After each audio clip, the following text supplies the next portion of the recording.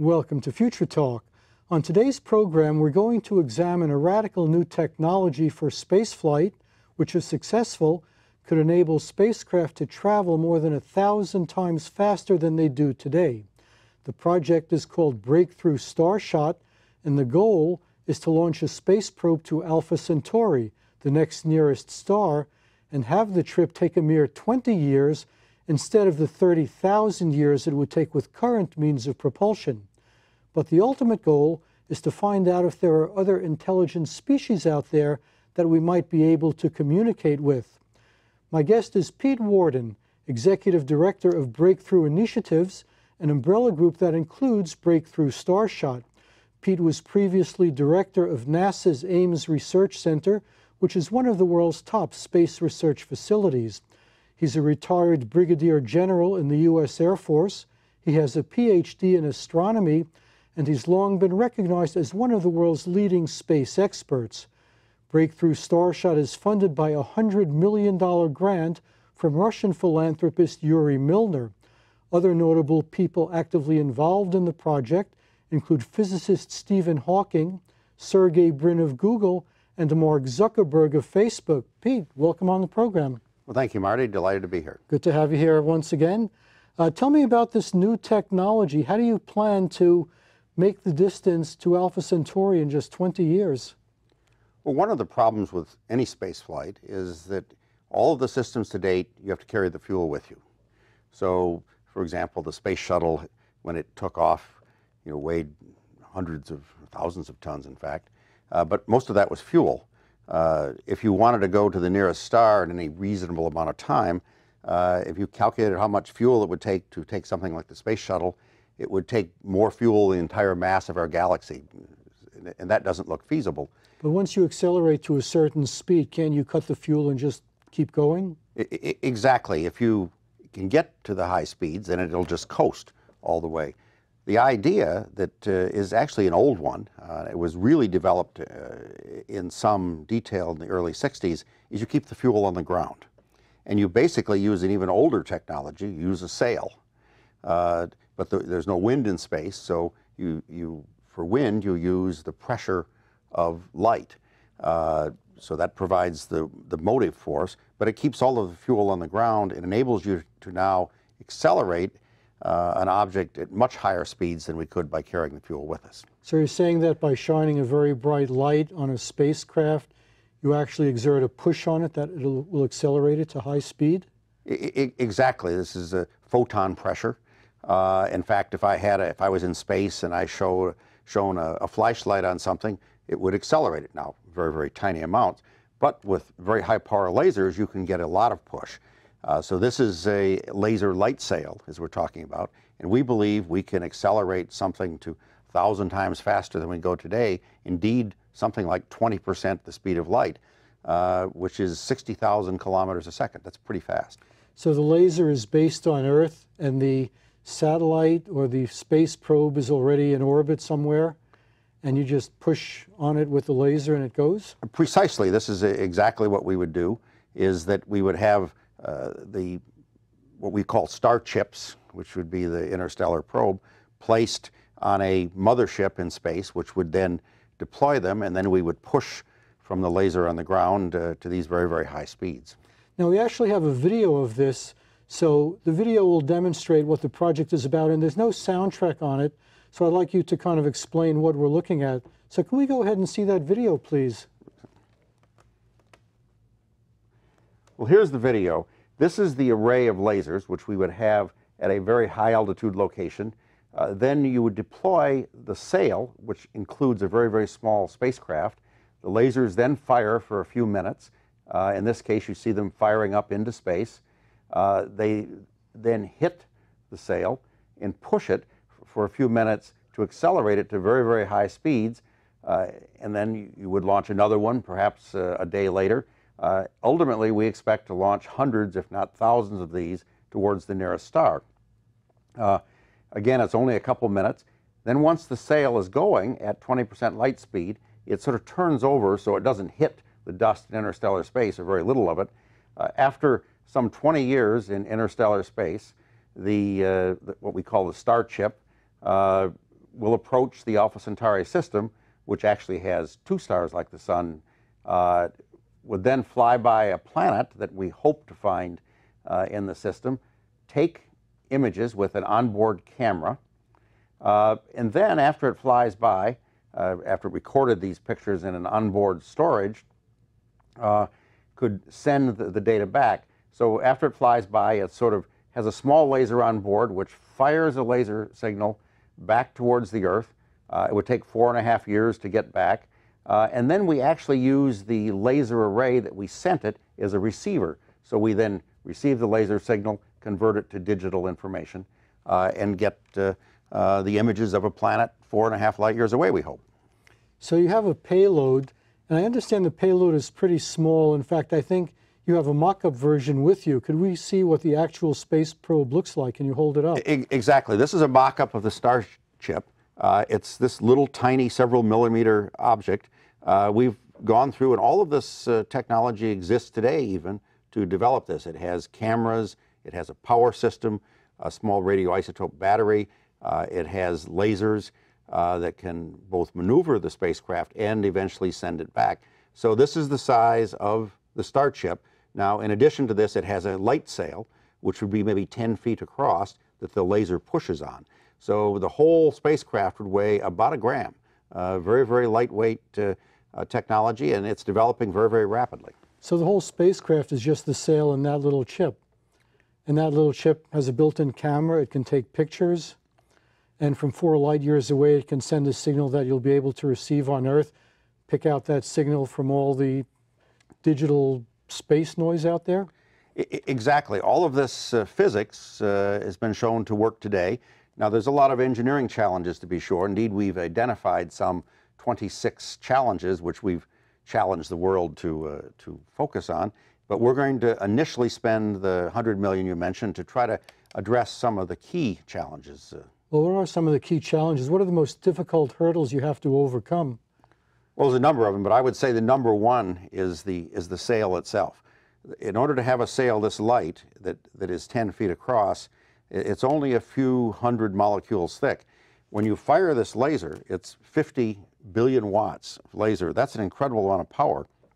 We have to make sure that the, that the sail reflects most of the energy and absorbs almost nothing, something like under a hundred thousandth of the energy, uh, and doesn't fall apart. That's pretty hard. Now, our calculations show that this is feasible, but it hasn't been done yet. So our first challenge is going to be to develop the material.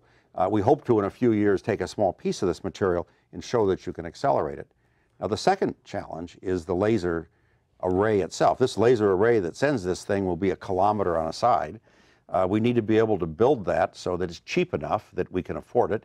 We'd like to have the total cost of the system be comparable to a big science project like the Particle Accelerator in Switzerland uh, or uh, the James Webb Space Telescope.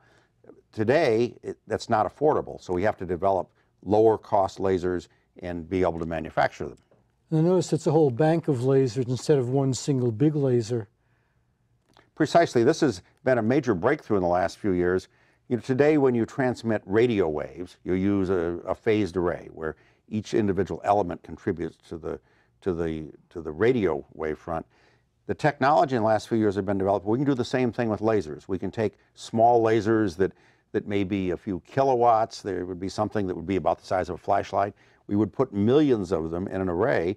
They could all act in concert so they are locked with each other, phased is the word it's called, and then fire a laser beam that acts as a single, uh, single beam that could then push the, this uh, laser. That technology is there, but to make it affordable, we really have to do a lot of work. Now it looks like the sail is moving when the laser beam hits it. I mean, how do you aim it?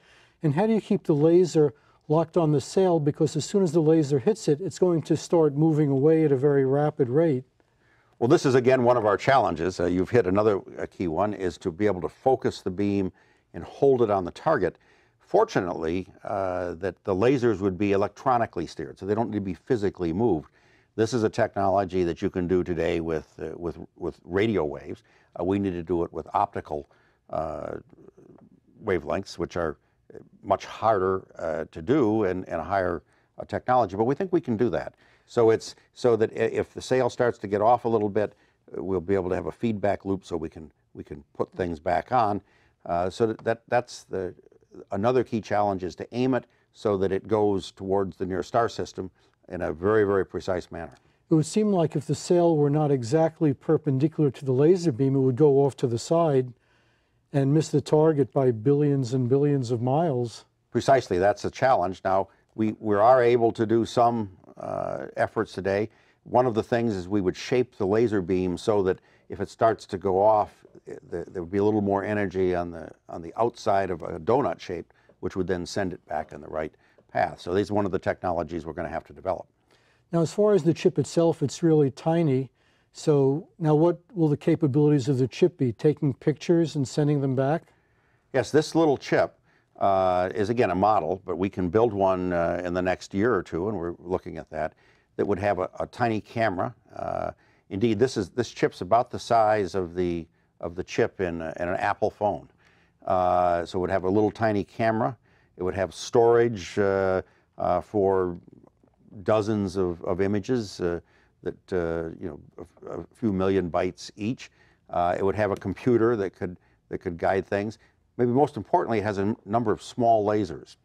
These little lasers can do two things. One is the small lasers, you can fire them, and just as the, as the chip is pushed initially with laser, these can move the small chip slightly.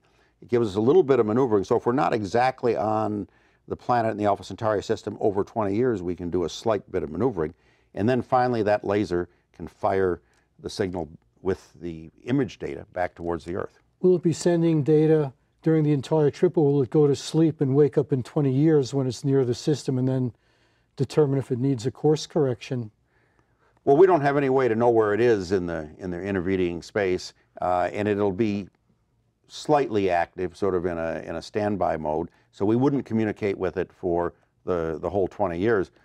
And we'll probably lose a, a number of these. So that's one reason we're going to send hundreds, maybe even thousands, uh, so that some of them will make it. All of them identical, or maybe you'll try variations? Well, that's so an excellent question. We're going to, we, we've convened a scientific group of about 30 of the world's best scientists in the relevant technologies. Uh, they will recommend, you know, images, of course, are incredibly important. You'd like to see uh, if there's a life-bearing planet around the nearest, uh, nearest star system, uh, you'd like to be able to see continents and other things. And of course, the, the real home run is if you find there is some evidence of civilization there. Uh, we have no evidence of that, uh, but uh, that's we, by images. Do we even know if Alpha Centauri has planets?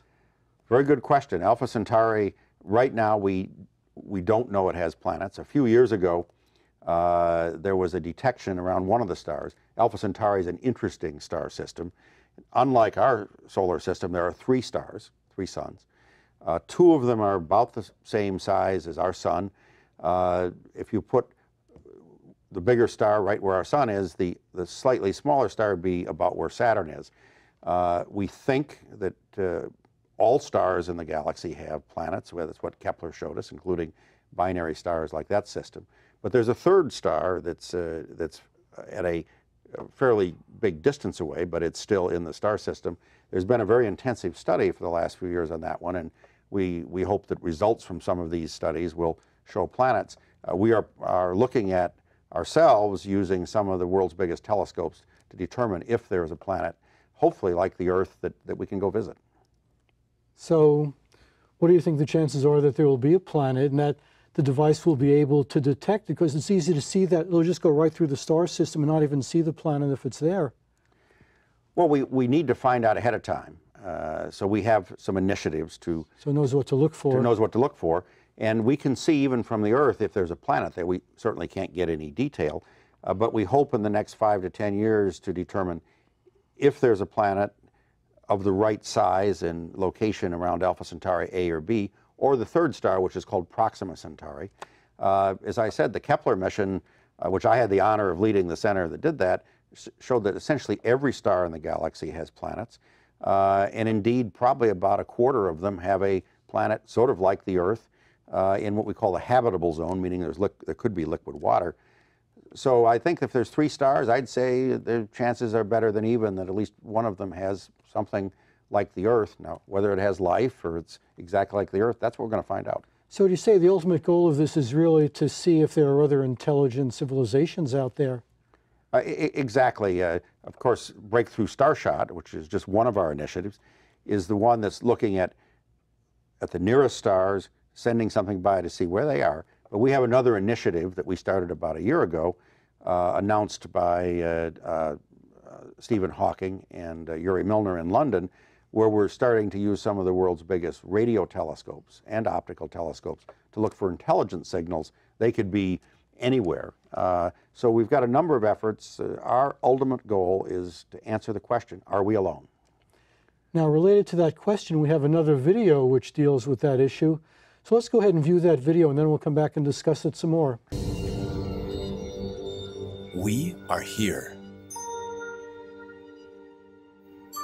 This is home. But for most of our history, we knew only our cradle in the corner. We awakened on this tiny world beneath the blanket of stars, without a note to explain where we come from, who we are. We inhabited a tiny universe, oblivious to the rest of the cosmos. It was only four centuries ago that we began to use science to reveal nature's secrets and her laws. What is science? It's an epic journey of discovery. It's a continuity of minds. It's standing on the shoulders of the giants who came before us, looking out across a valley, over a hill, up to the sky, and asking, I wonder what's there. Oh, that view is tremendous. It allowed us to look across space and time, see the scale of the universe, and our place in it. We now know our galaxy alone holds hundreds of billions of stars, and that the visible universe contains at least a hundred billion galaxies. In the last decade, we have discovered over 2,000 planets beyond our solar system. It's now estimated that there are tens of billions of habitable planets in our galaxy alone. Are we content to gaze at all these stars, all these worlds, from afar? We have taken to the sky.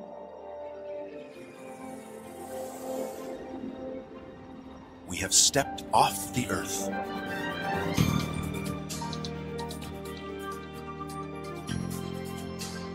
We have walked on the moon. We have landed on planets and comets and ventured to the edge of deep space. Where now?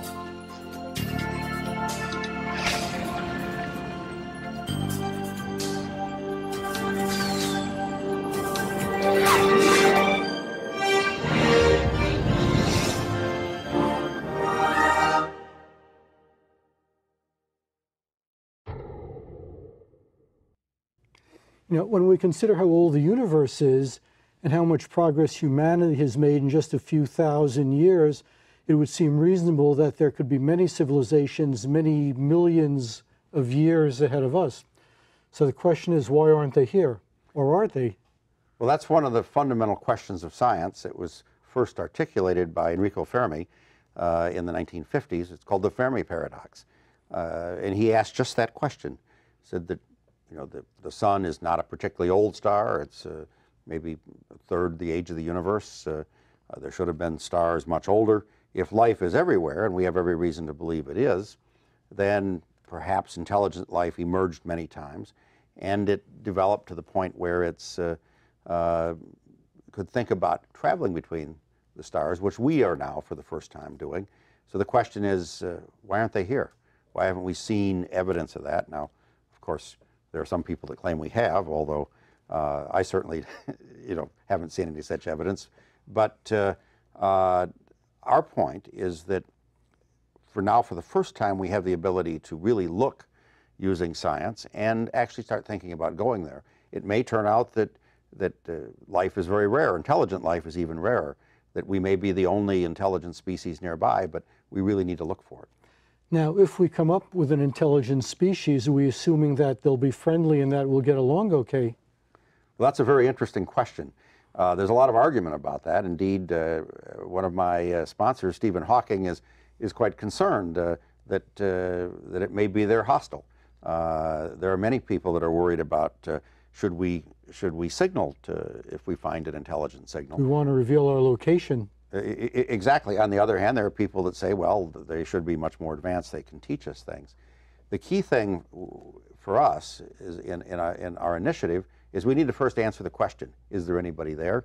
And are they sending a signal? Then, of course, uh, it's a big question of what we do. This may be the most important opportunity for humanity to begin to think together about uh, uh, do we answer? What do we say? Uh, indeed, is one of the other initiatives, which we've announced but have not yet uh, said the details, is what we call breakthrough message. So we have, we're going to have a global contest for people to think about what we might say, uh, but we've made a commitment. We're not going to send anything because we think that needs a lot of discussion globally. So if we're going to introduce ourselves to the universe, what impression? I remember there was a big debate because a plaque was sent out a couple of decades ago. I think Carl Sagan designed it. And there was some, like, what do we want to tell the world about ourselves? And some people were saying, well, we should tell them how bad we are and what a terrible civil, you know, that's not what you want to say to strangers. I don't think you want to play up your good side. Well, indeed, this is a very interesting question. Uh, uh, Carl Sagan's uh, widow, uh, Ann Druyan, is one of our advisors and on our advisory panel. She's the creator of the Cosmos series. Uh, you know, she helped design some of these things. So that's a very, very interesting question. Uh, it's something that, that, that bears a lot more thought than than most people give it. Is if you meet somebody new and you don't really know their intentions, very, very deep thought is really required. Is, is do you say anything? Yeah. Should we assume that they're like us? Should we be projecting ourselves onto, you know, like warlike species that will fight to the death for an advantage?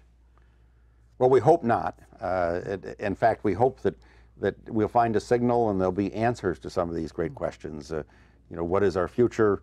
Uh, how can we make sure it's a good one? There again, there's always sort of dangers. But the first step is we, we need to, to find out how alone are we. Now, as far as our listening ability, let's say that there was somebody with our technology sitting on Alpha Centauri right now and aiming it in the direction of Earth. Would that equipment be good enough that they could detect intelligent life on Earth? Well, we did some calculations when we announced our projects the last couple of years. Uh, it turns out that actually with the technology we just now have, particularly the computer processing and ability to pick a very faint signal out, we could actually detect just now on Alpha Centauri uh, the accidental signals. That if, uh, if, if there was a planet around Alpha Centauri that had a civilization like ours and they were using uh, air traffic radars, uh, if they were using very, very powerful uh, directed systems to do their own uh, efforts, then we'd be able to see them. Uh, now, if they're using powerful lasers like what we're talking about, we can see those much further. We could see those halfway across the universe. Uh, if they're sending signals, particularly towards us, which means they know that there's something here, uh, we could see a radio signal comparable to what we can send out using our largest radio transmitters today, such as the Arecibo radio telescope, we could see that almost all the way across the galaxy. So there's a lot of different things. Some signals would be easier to see, some would be harder. But the interesting thing is just today do we have the technology with data processing to be able to pick these signals out of the noise. So some signals that are created by an intelligent society would have a particular pattern which would be different from background radiation? I exactly. That's what we need to look for. Uh, there's a, been a lot of discussions about what kind of signals these would be. Uh, there hasn't been a, as much work done for the last decade than it was done before, which is kind of ironic because we now just have the capability to do that. So one of the other initiatives the foundation has is what we call Breakthrough Discuss.